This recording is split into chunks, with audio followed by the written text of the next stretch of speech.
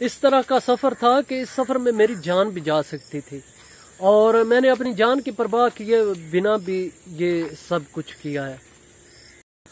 بسم اللہ الرحمن الرحیم۔ Welcome back to my YouTube channel امید کرتا ہوں کہ آپ بالکل ٹھیک ٹھاک ہوں گے۔ میں بھی الحمدللہ ٹھیک ٹھاک ہوں۔ اللہ تعالیٰ کی ذات کا شکر ہے۔ اور آپ سب بہن بھائیوں کے لیے دعا گوں کہ اللہ تعالیٰ آپ کو خیر و فیت سے رکھے۔ اللہ تعالیٰ آپ کو خوش رکھے، آباد رکھے، شاد رکھے۔ آج میں آپ کی ملاقات ایسے انسان سے کروانے والا ہوں جس نے یتیم بچوں کی خاطر بارہ سو کلو میٹر کا پیدل سفر کیا ہے۔ تو ویڈیو میں آگے بڑھنے سے پہلے آپ سب بہن بھائیوں سے ریکویسٹ ہے کہ جنہوں نے چینل سبسکرائب نہیں کیا، وہ چینل سبسکرائب کر لیں، ویڈیو کو لائک کر دیں اور ساتھ میں لگے بیل کے آئیکن کو بھی دبا لیں۔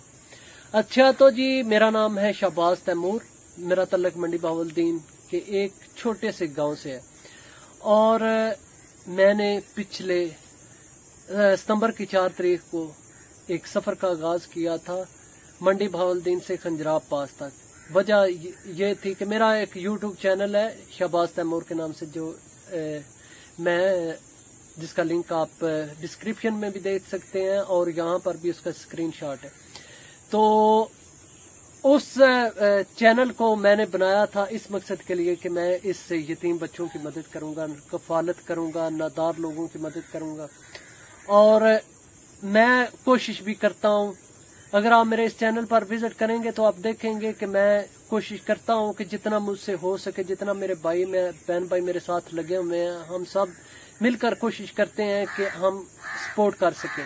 لیکن یہ ہے کہ اپنی منزل کو پانے کے لیے، کچھ کرنے کے لیے۔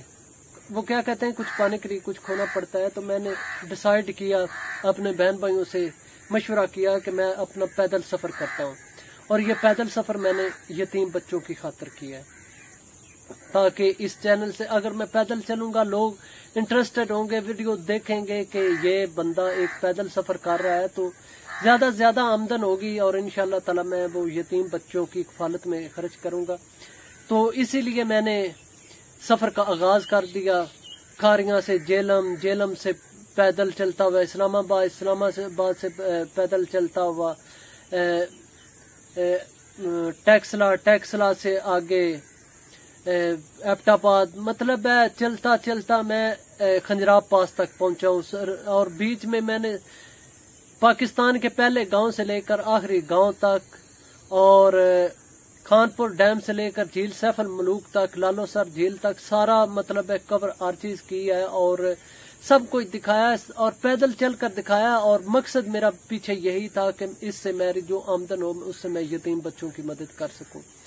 تو اگر آپ سمجھتے ہیں کہ یہ ایک اچھا کاز ہے، یہ ایک اچھا مطلب ہے، عمل ہے میرا، تو آئیں، مجھے سپورٹ کریں۔ آپ کا ایک ویو، کسی بچے کی کتابیں، کسی کے کاپی، پینسل کسی بزرگ کی دعائی اور کسی کسی نیک مقصد میں آپ کا وہ کام آ سکتا ہے۔ تو میں پہلے بھی اپنا لنک دیتا رہا ہوں اس چینل پر۔ یہ میرا سانوی چینل ہے۔ اصل تو شہباز تیمور ہے جو میں نے ایک ڈیڑھ سال ہو گیا مجھے سٹارٹ کیے ہوئے۔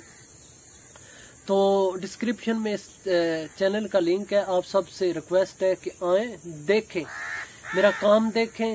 کہ میں نے کس طرح مشکلوں سے پیدل سفر کیا ہے، میرے پاؤں زخمی ہو گئے تھے، کس طرح میں بیمار پڑ گیا اور کس طرح میں موت کے منہ میں جاتا ہوا بچاؤں تو آپ، آ کر دیکھیں گے کہ یہ سفر کتنا میرے لیے خطرناک تھا۔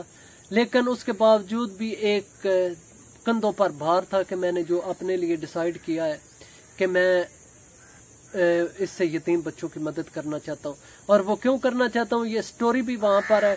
اور ابھی ریسنٹلی میرا اردو پوائنٹ پر اپنا میرا انٹرویو بھی انشاءاللہ تعالی دو تین دن تک نشر ہو جائے گا۔ وہ آئے تھے اور میرا انٹرویو کر کے لے کر گئے تھے۔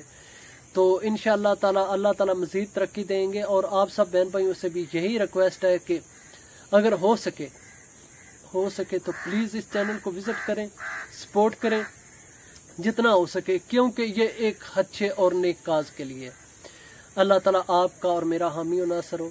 یہ چینل کا ڈسکرپشن میں لنک بھی ہے اور یہ اسکرین شاٹ بھی ہے۔